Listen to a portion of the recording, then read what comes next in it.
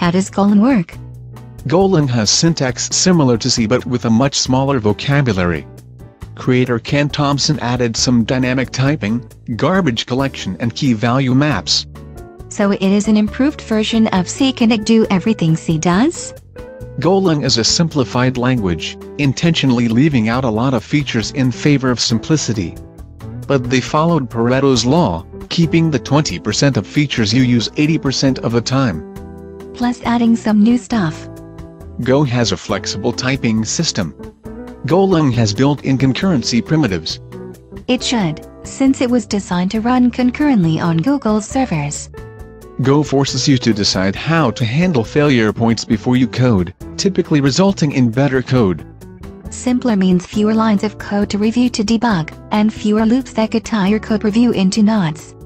Go uses fewer lines of code to do what other languages do in twice as many lines. Go is sometimes said to make you solve problems like unused variables. That's because the compiler outright fails if you don't resolve the problem. I don't know if crashing compilers are a superior product. You get a better product if you can't even compile it without fixing it. Go even has a toolchain that creates statically linked native binaries without dependencies that can go wrong or be done wrong. Like circular dependencies. If only we could devise a language that prevented circular logic in arguments. Google has an inheritance system that replaces the more error-prone virtual inheritance. And you use type embedding instead of non-virtual inheritance.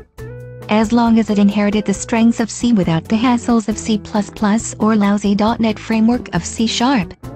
Go's syntax is more like a dynamic language than static languages like C.